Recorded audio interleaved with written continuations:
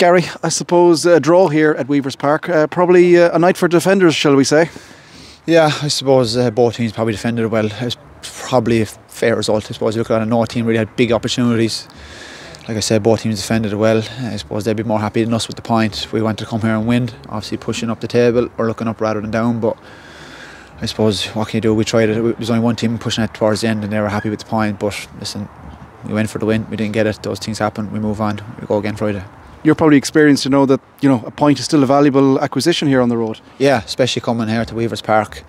A lot of teams have come here who are further up the table than us and got got turned over and lost points. Um, so we know that this is a tough place to go. So listen, we, we kept clean sheet. It's, to be any successful in any team, you be built from the back. So that's a that's a good starting point. But obviously going forward, we need to win games to to obviously make Europe, and you want to go further than that. So uh, that's disappointing that we didn't create big chances, but they didn't either. And like I said, draw is probably fair result at the end. How difficult is the program at the moment? You've been going non-stop. I, have even losing track of days and games. They're just coming across so quickly. Yeah, I suppose uh, John and Ollie and the backroom staff have kind of kind of balanced our, our workload well um, throughout the week. Like we've come doing bikes and gyms and ice baths and the workloads come down a small bit. So kind of taking over, kind of maintenance kind of thing. So yeah, I think the staff have done well to keep us going, and some players have been playing to keep them on their toes.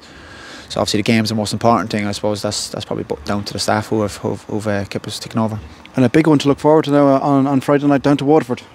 Yeah, I suppose two teams are kind of looking to, to, to go towards the same thing towards the end of the season. Um, both teams similar off in the position in the table.